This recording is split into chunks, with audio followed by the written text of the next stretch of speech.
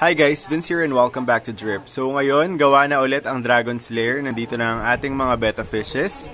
Ayan, and isa-isahin natin silang lahat. So dito sa tank 1, nandito ang ating Nemo Galaxy Half Moon. Sobrang ganda niya. Nandito yung ating Dumbo Ear Salamander. Next one, nandito ang ating Platinum White Half Moon. Next, nandito yung isa pa nating Dumbo Ear. Ayan, gustuhan ko siya. Tapos, next, nandito ang ating Rose Tail na metallic.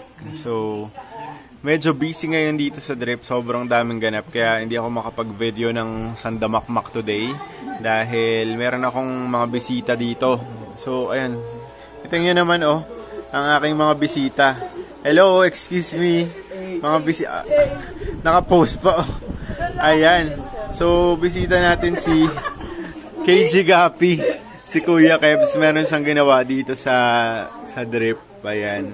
And syempre, kasama niya si ano, si MG Fishes. So, ayan, silang dalawa. Kanina pa kami nandito, hours na silang nandito sa bahay. So, tambay lang talaga kami dito. Ayan, kadiri siya. Pinaglalaroan niya yung mga superworm ni Momo. Momo to eh. So, ayan.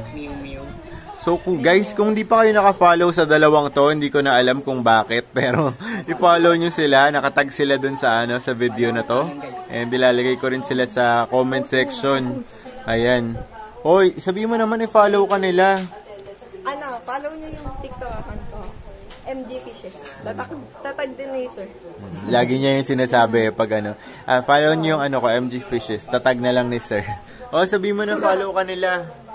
Follow nyo ako guys, KG Gapi. Oh, ayan. Si, it's me, Kuya Kebs. So, ayan, tumatambay sila dito. So, ngayon, ah, next time na namin sasabihin yung project ni KG Gapi dito. Saka na lang kapag natapos na para magandang maganda talaga. Kumakain pala ako ng Labarox guys eh. So, ayun, next time na lang ulit guys. Baka bukas na ako mag-video ulit kasi sobrang daming gagawin dito sa drip. As in, sobrang dami talaga. So, see you guys tomorrow. Bye. Oh, bye-bye ka na. Bye-bye.